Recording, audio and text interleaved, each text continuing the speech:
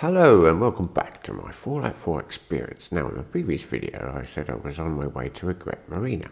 Uh, just check the printing machine, make sure it's full. Uh, there's one up there, it might be difficult to get to. Anyway, yes, I'm down here to tell you a few about, a little bit about Egret Marina. Now this door is locked, I'm not going to unlock it. And the door on the other side is also locked.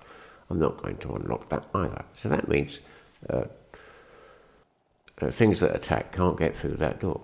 That's basically the necessity of that one. So yes, I've, uh, as you can see, I've added uh, a vault dormitory up there, and uh, this gate, uh, which confounds most creatures in the Commonwealth, including the settlers. Thankfully, the companions can find their way through. That there is a, a ghoul gate. That's what we call a ghoul path to lead them. Uh, they can't get in. Uh, about this time, um, Phyllis should be in the cafeteria. Yes, there she is there, having a nice Salisbury steak and I'm here to do a bit of building upstairs.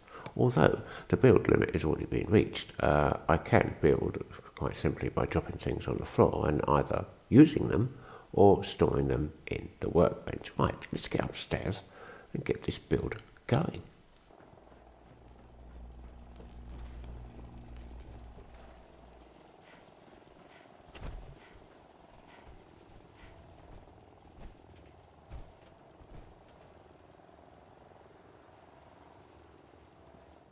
So as you can see, it's a little bit sparse in here at the moment. I need to stick some beds down and uh, yeah, fill it up with cells and get this place up and running properly.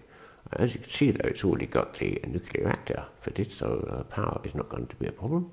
So all I have to do now is make some beds. And I'm going to do that by using or simply storing these items in the workbench. Uh, best way I found of uh, building when the build limit is maxed out.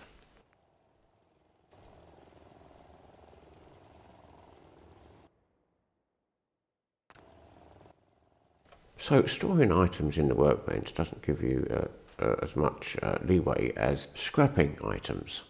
The it is that when you're close to the build limit or over the build limit and you scrap something of uh, reasonable value or um, it's got quite a lot of components in it, um, it gives you quite a lot of leeway actually, like this, when I scrap this uh, advanced gun. So uh, You'll notice that the little line at the top and so the size actually decreases a little bit while you um, use up the resources that you've already used. Anyway, so that's what I'm doing down here at the Egret Marina. I'm setting up camps so that I can march an army of 10 uh, or more uh, across the wasteland from one settlement to the other. So that's what I've been doing. Okay, so I hope you enjoyed this very short video and I shall see you all again very soon. Bye for now.